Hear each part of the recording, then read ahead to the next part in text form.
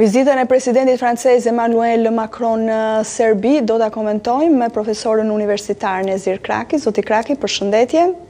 Faleminderit që jeni në A2 CNN për të zhvilluar këtë bisedë së bashku. Përshëndetje juve. Konferenca për shtyp është parashikuar të jetë më vonë, megjithatë nga ajo ç'kanë bërë publike qoftë nga mediat franceze apo dhe nga ato serbe, ë përsa i përket temave që do të diskutohen në në këtë takim dhe që do të jenë fokus i kësaj vizite dy ditore. Cilat janë pritshmëritë tuaja, zoti Kraki?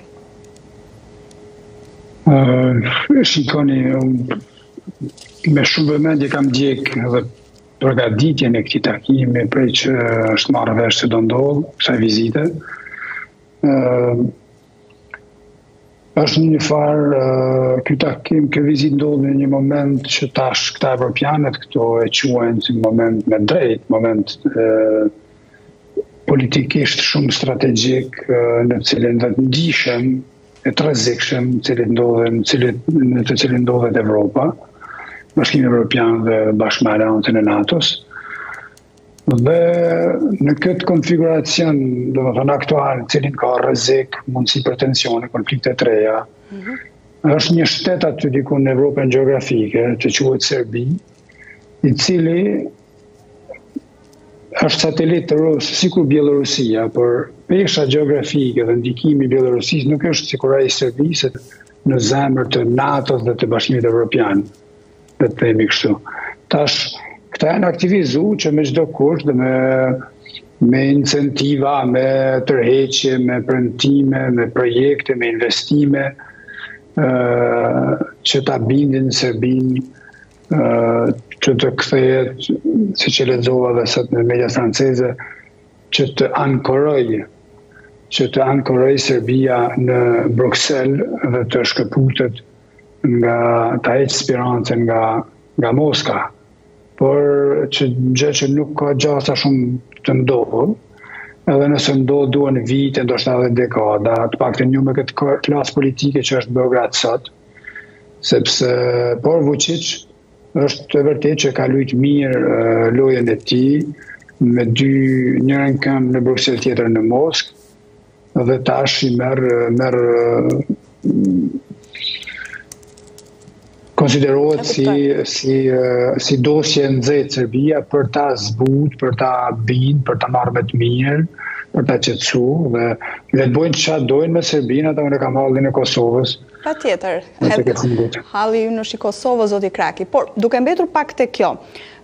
Pra, Europa, thoni ju, është në përpjekje për të bindur Serbinë, për t'u shkëputur nga Moska, nga Vladimir Putin.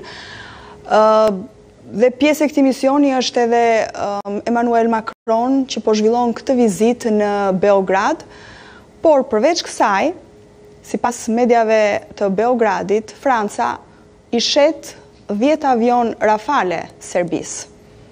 Po. Me sa duket, nuk, nuk, me sa duket pjesë e këtij misioni nuk është të bindim Serbinë të shkëputet nga Moska, por le t'i shesim asaj dhe 10 avionë Rafale. Si tingëllon po, po, kjo? Politika është tregti tek e fundit, ekonomi, diplomacia është shitje, treg. Shikoni, Serbia ka ka shpreh interesim për blerje të avion, blerje të avionëve Rafale francezë të të prodhuesit Dassault, që është ndër më seriozit, seriozë në botë dhe me avionë ma të sofistikum, ndoshta pas atyre amerikanë, këta janë ma të sofistikum që ka sot që qarkullojnë sot. Por Franca ka refuzu para disa vitesh, ka refuzu t'i shesë Serbisë për arsye për arsye politike. Franca nuk mundet, nuk mund t'i shesë teknologji të sofistikuar ushtarake, mbrojtëse apo sulmuese një vendi i cili nuk konsiderohet si mjaftueshëm i besueshëm apo aleat, ë sepse për momentin i bie sikur Franca t'i shiste avionë luftarakë Rusisë. Do thotë je duke i shit avionë, je duke armatos një armik potencial, i cili përbën kërcënim. Tash avionët luftarakë, shitja e avionëve gjendet në atë paketën e premtimeve, mundësive. Do thotë nuk është Më a ka Serbia interes me ble avionë, ajo ka interes prej vitesh. Po është pyetja është a lejon Franca t'ia shesë, nëse Franca pranon t'i shesë avionë luftarakë Serbisë, atëherë i bie që Serbia është angazhu që të bëjë diçka konkrete që për t'i tregu Francës dhe Bashkimit Evropian se ajo veç ka nis një proces të dukshëm, të matshëm të uh, integrimit konceptual politik dhe strategjik së pari në vlerat dhe parimet e BE-së, gjë që ende as nuk ka nisë të ndodhë, sepse Serbia është duke i dhunu krejt listën e vlerave dhe parimeve mbi të cilat është ndërtu Bashkimi Evropian dhe vlera e parime të cilat janë duke u mbrojt në front në Ukrainë me miliarda investime, shpenzime franceze, gjermane, amerikane, angleze.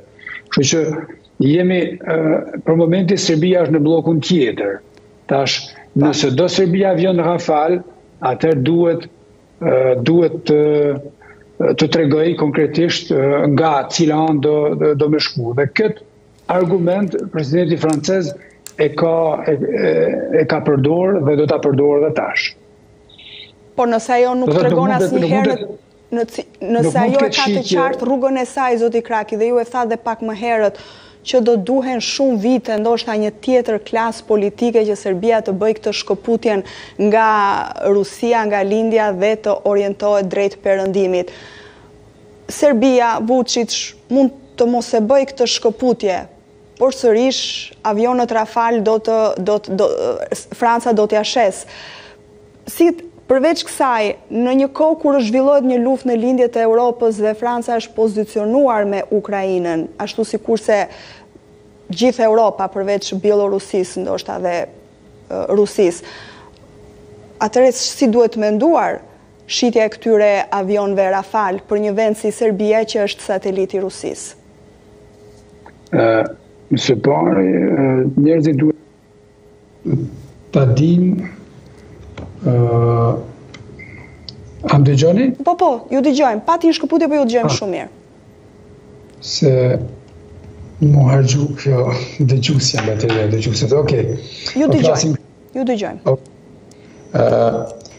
Shikoni, avionët e kësaj kategorie nuk janë të disponueshëm menjëherë. Do thotë, kur bën kontratat e tilla, janë projekte blerje që shtrihen në kohë. Për shembull, Turqia ka një 10 vite që ka arrit marrëveshje me amerikanët për blerjen e F-16-shëve amerikanë, luftarakë të cilët ishin blloku e shitja e të cilëve u bllokua suspendua nga amerikanët kur Turqia bleu sistem mbrojtës raketor rus S katërqind dhe ajo blerja nga Turqia e sistemit antiraketor rus sistemit mbrojtës raketor rus ishte dhunim i parimeve dhe i teksteve që mbi të cilat bazohet aleanca e NATO-s.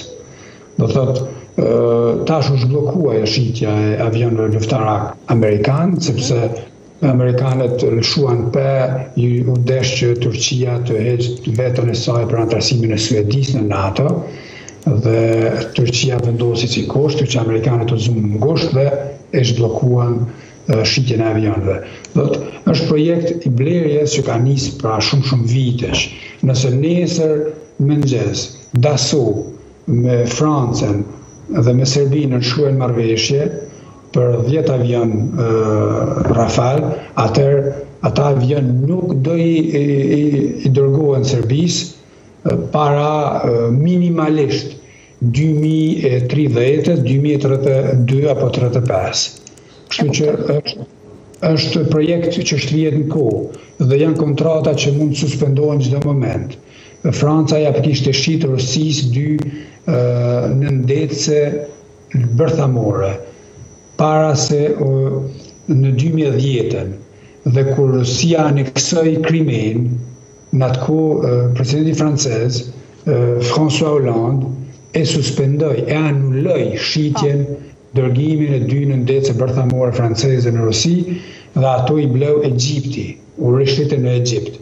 Dhe u rishit Kështu që janë, do të thotë nuk ka diçka konkrete, nuk ka diçka, Franca nuk e ka as kjo luksin që për 3 miliard euro, kur e ka 3.000 miliard minusin borxh shtetëror, për 3 miliard euro nuk e ia lejon Franca vetes edhe nuk e ka autorizimin as të aleatëve tjerë që ta rrezikojë sigurinë dhe sistemin mbrojtës dhe informacionet e ndishme, super të ndishme të teknologjive mbrojtëse po. të NATO-s për Serbinë. Zoti Kraki, referuar edhe mediave, Kosova pritet të jetë një tjetër çështje që do diskutohet mes dy liderëve. Çfarë shpresoni të dalin nga goja e Emmanuel Macron në mes të Beogradit pikërisht për Kosovën? Çfarë fjalësh? Serbia pret që presidenti i Francës ta ripërmend asociacionin e famshëm. Dhe padyshim pres që ai me siguri ka me përmend asociacionin, por ai do ta përmend gjithsesi edhe respektimin e marrëveshjeve dhe angazhimeve që janë marrë në Bruksel dhe në Ohër.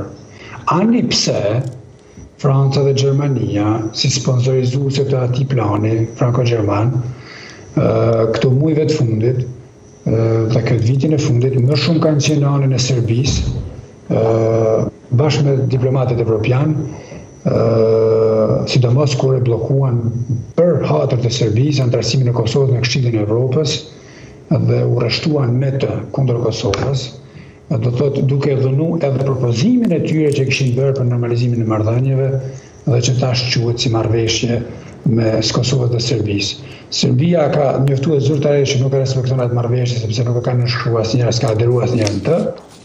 Kosova nuk ka nevojë ta bëjë absolutisht asnjë centimetër në çfarëdo drejtimi qoftë në kuadër të dialogut, pa u sqaruar pozicioni i evropianëve karshi asaj marrëveshje dhe pa u sqaruar pozicioni i evropianëve karshi Serbisë lidhur me atë marrëveshje, sepse derisa të mos ketë qartësi, ne duhet veç të merrem me veten tonë, me Kosovën, duhet të vazhdohet normalizimi i veriut të Kosovës, integrimi, inkorporimi i serbëve të veriut brenda sistemit, Brenda jetës socio-ekonomike të Kosovës dhe çdo ditë që kalon, e kam thënë këto ditë e fundit shpesh, çdo ditë që kalon nevoja iniciale e vitit 2004 për asociacion monoetnik serb nën pretekstin se serbët e veriut janë në rrezik permanent nga shqiptarë dhe duhet të mbrohen me kufij, me tela me gjemba dhe me ura të mbyllura, kjo nevojë është duke u zbeh. Dhe çdo ditë që kalon kjo nevojë është duke dalë nga nga nga lista si argument. Zoti Kraki, a është Emmanuel Macron në krah të Serbisë? A mban anën e Serbisë? Nuk nuk besoj. Emmanuel Macron është është thellësisht sot i pozicionuar anti-Rusisë, kundër Rusisë, me veprim, me investime, me shpenzime, madje i kushtuan edhe zgjedhjet këtu në Francë, e humbi edhe shumicën që e kishte një shumicë relative në parlament, e humbi edhe atë shumicë, domethënë e ka dëmtu pozicionin e vet politik tërësisht për arsye të këtij angazhimi që i ka, sepse Franca, Gjermania dhe Anglia janë tri vendet evropiane që janë angazhuar më së shumti dhe që kanë marrë rrezik më së shumti në konfliktin që është duke ndodhë atje dhe që kanë shpenzuar më së shumti edhe në burime, kanë mobilizu burime njerëzore, financiare, teknologjike, dhe nuk e shoh, nuk mund të them që Franca sot zyrtarisht është në anën e Serbisë, Franca dhe disa vende evropiane, por edhe disa diplomatë amerikanë aty këtu, janë sot në atë momentin, një, një, një moment të mjegulluar diplomatik, në të cilin mendojnë se mund të arrijnë një sukses për ta kthy Serbinë ka nga ë nga perëndimi. Kështu që ky moment i bën këta duken duken ë se interesat këta i shohin interesat ekstra muros, jashtë murëve, këta kanë vizion ma, ma të gjërë kështu dhe në kohë, të shtrirë në kohë dhe gjeografikisht ma të gjërë, ne kemi interesat konkrete Kosova, hallin tonë si Kosovë, Dhe kur këta e bojnë e skanojnë situatën globale atëherë interesi i Kosovës, veriu i Kosovës është një pikë diku në oqean. Prandaj ne duhet me takt, me me me strategji të rezist, të rezistojmë dhe t'i themi secilit diplomat, secilit vend aleat se kështu siç jemi, jemi jemi shumë keq, më keq se kaq nuk mund të bëhemi. Kështu që Edhe diçka e fundit, në krahasim me presidentët e tjerë në Francë, si do ta poziciononit ju Emmanuel Macron për sa i përket angazhimit të tij për Ballkanin, specifikisht për Kosovën dhe dialogun? Nuk ka presidenti presidenti aktual Është i ri në moshë, kur është zgjedhë president, ka qenë, po mendoj, momentin që ky është zgjedhë president, ndoshta nuk ka qenë në gjendje as ta lokalizoj Kosovën në një hartë, nuk e ka pas absolutisht asnjë lidhje me Ballkanin, asnjë përjetim, asnjë edhe në politikën franceze ky s'ka qenë i angazhuar më herët. Ka ardhur si si funksionar i lartë, nga funksionar i lartë si administrator në në Pallatin Elize, si është është ngrit në president, si si me shpejtësi kështu si papritur dhe dhe nuk e ka njoft asnjë dosje të Ballkanit, nuk ja ka pas idenë Kosovës Ballkanit luftës. Më vonë është marrë me to, duket që është marrë pak më shumë me to, dhe angazhimi konkret i Francës u pa në momentin që U angazhuan emisarët e tyre dhe u propozua plani që tash quhet franko-gjerman. Përveç kësaj, nuk ka diçka angazhim të madh të Francës në Ballkan. Franca është shumë shumë shumë e padukshme në Ballkan, fatkeqësisht. ë do të mund të ishte shumë më e dukshme edhe në Kosovë dhe në dosje të tjera të Ballkanit. Franca ka qenë deri vonë shumë hezituese dhe me pozicionim politik kundër zgjerimit apo me atë idenë franceze të një bloku me dy, me një me një paradhomë, të një bloku me dy, me dy me dy rra, me dy rrethe kështu, bërthama dhe një orbitë rreth bërthamës. Kjo orbita me shtetet periferike që do bëheshin partnere strategjike të BE-s. Lufta në Ukrainë rrëzoi atë ide që ka qenë absurde edhe atëherë. Ë dhe tash Franca bën pjesë në shtetet evropiane bashkë me Gjermaninë që thonë se duhet integrim i shpejtë i Ballkanit, duhet qartësim i çështjeve që kanë mbet hapur sa ma shpejt, prandaj ishte edhe angazhimi i planit franko-gjerman, prandaj lindi rikthimi i Francës dhe Gjermanisë i forcuar në Ballkan, dhe tash kjo ngutia me cilën këta duan ta kthejnë Serbinë, derisa merren edhe pak me Kosovën, mbylljen e çështjes së Kosovës, dhe të pretendimeve serbe mbi Kosovën, të janë të gjitha një paketë që është globale po me idenë mbrapa që duhet të integrohet sa më shpejt rajoni, të mbyllet Evropa gjeografikisht dhe politikisht, edhe pse jo ushtarakisht, me, me, me integrim në NATO, dhe tani të jemi si blok, tash që edhe Suedia, Finlanda janë në NATO dhe gjeografikisht me studentë e flas shpesh, Politika nuk ka kuptim nëse nuk ja kemi idenë gjeografisë, nëse nuk e dimë ku janë gjërat, ku janë fenomenet që ndodhin, ku janë shtetet, ku janë vijat kufitare, ku janë bazat ushtarake. Gjeografia është baza, pastaj vijnë tjerat. Kështu që gjeografikisht është një interes i madh, në të cilin edhe ne si shqiptarë kemi interesat tona. Në këtë procesin e ri të integrimit të përshpejtuar, edhe ne duhet dhe pritet të jemi përfitues, me kusht që Kosova të mos dëmtohet, mos shpërfytyrohet shtetërisht para atij momenti. E qartë. Zoti Kraki, ju falënderoj shumë që ishit në A2 CNN për të zhvilluar këtë bisedë së bashku. Ishte kënaqësi, faleminderit gjithashtu. Faleminderit.